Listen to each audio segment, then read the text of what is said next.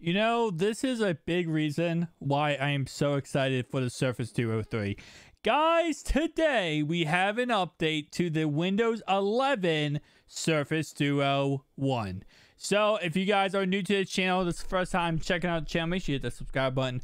But starting off right away, Gus33000 is a legendary person on Twitter because he actually was able to get the uh, Windows, uh, I think it was Windows 10 or Windows 11, running on the Lumia phone.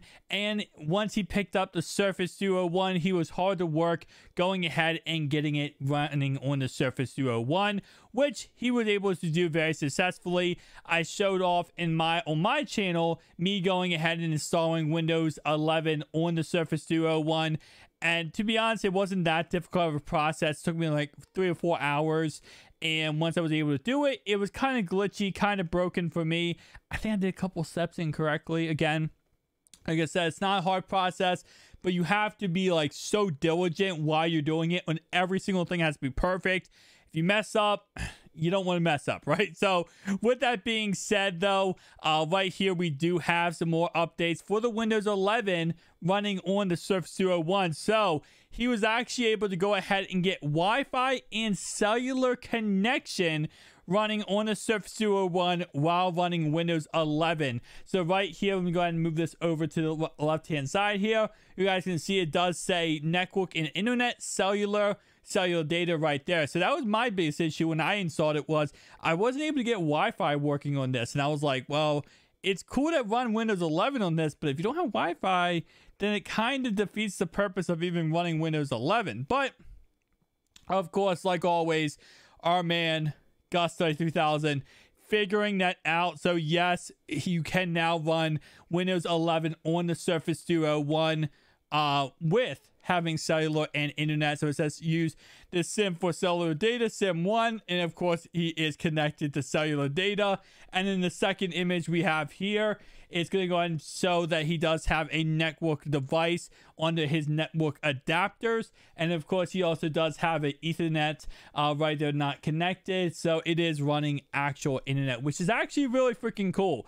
And I'll definitely say, again, like I said before, you know, is actually insane. So he does have a version right there uh, that he went ahead and put out. So if you are following along, if you are installing Windows 11 on your Surface Duo 1, here is the updated version that you can go ahead and make sure you install the Windows 11 with the Wi-Fi slash cellular uh, connection. So you can actually go ahead and still use this as a cell phone while still using this, you know, as an actual Windows 11 device. And like I said, this is what always gets me so excited about the Surface Duo 3 because, again, this guy does not work for Microsoft. This guy is not a top you know, coder in the whole entire world. Obviously, he's a very smart guy. Obviously, he's a very amazing person, but he's not like the number one in the world top coder. And he was able to get this running Windows 11. He was able to get it running and create such a simple tutorial.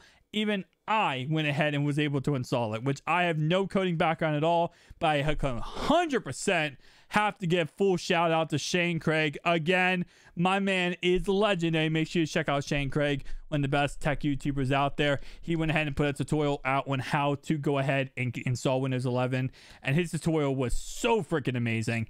Even I was able to install it. Like I said, I'm not a tech guy. I'm not, sorry, not a um. I was good. I am a tech guy. I'm not a um like coding guy. I did coding in high school, C++, Python, um, Java, but I'm not really too much into coding and command prompt stuff like that. I love technology, but not too in detail that. And even he says in his tutorial, he's not either, but he put out a pretty dang good tutorial. So right here, of course, we do have this running on both sides of the display here. And again, like I said, just, you know, more pictures, more things of him going ahead and progressing this farther and farther. He says the Surface app see, uh, spans nicely across both displays, I have to say. So, of course, if you guys did not see my video earlier, the Surface Duo or Surface app I call it Surface Duo app. The Surface app did go ahead and get an update. So now that it does add the ability to find my device in the maps category, which is really freaking dope. Nonetheless, though, he is running the Surface app on the Surface Duo on Windows 11. So a little bit trippy there. Uh, but again, like I said, just a little update on other things. He does what I have right here, the CPU usage, all that kind of stuff. Keep in mind, again, uh, whenever, you know, when you're running Windows 11 on this device, you're pretty much just running Windows 11 on a virtual machine. Uh, so pretty much you dedicate certain resources. You can dedicate a certain amount of RAM, a certain amount of storage to your actual device, to um, your virtual machine running Windows 11. So it's pretty much all it is. If you guys have ever used virtual machines, Ubuntu, Fedora, Linux, whatever, it's just all virtual machines. Um, nonetheless, though, again, like I said, just more pictures of him going ahead and using this. One screen has his documents open, the other screen actually has a dialer, and he was able to actually fix ish, fix it. He says fix in an ish. I'm gonna guess it's not 100%, but he was able to go ahead and get it so he can make a call. So overall wise, very interesting, very awesome updates, very cool stuff. I don't know how many more I'm, videos I'm gonna make about the Windows 11 being updated, just unless there's like a crazy update moving forward and something insanely happens. I'm probably not gonna make too many more videos talking about his update processes because I think we're at this point, he's now at the point where you can have cellular data, Wi Fi, and fully run Windows 11 operating system. Unless he does something insane, I think the saga kind of is ended with the Windows 11. So crazy, crazy, crazy.